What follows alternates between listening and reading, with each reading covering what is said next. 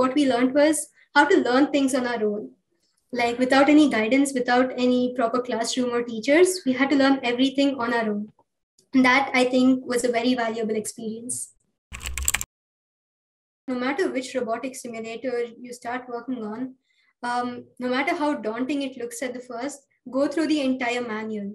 At least like skim through it so that you know where to find what because I know it might be really, really daunting, several hundreds of pages long, but at least just skim through it so that you have a rough idea of where to find what if things go wrong. So Leopoldo Armesto has come up with so many different advanced tutorials about how to use CoppeliaSim. And this was very helpful in helping us learn how learn the ropes essentially at the beginning because we were very new to it an enlightenment for engineers. Any other competitions, it's like how much we know. It's just to apply how much we know about the things. Here we learn completely new concepts and then apply it and think how practically it will work.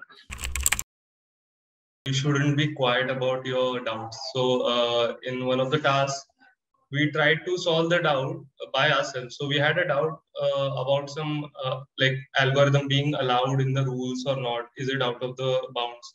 Something like that. But uh, for the longest time, we tried to solve it by making something else.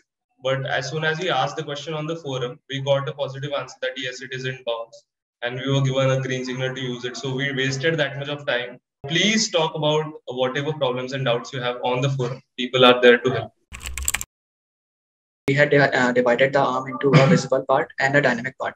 So while making the dynamic part, uh, the concern should be only about uh, it being a solid model and not including any holes or slots, which is there in the visible part. Like I was quite confused in the first uh, stand when I took the notice of this.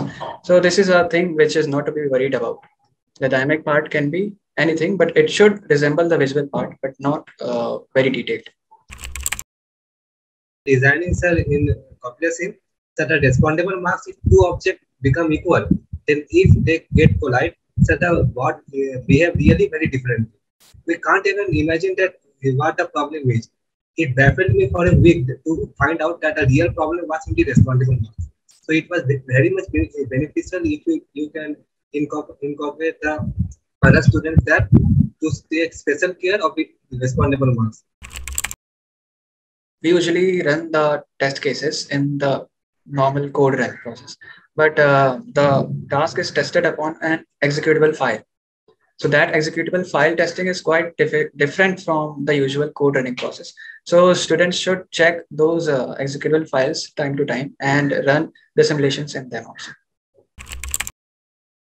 because we start really from the basics. So uh, like one should not get over overconfident about uh, the themes that are you know that are yet to come.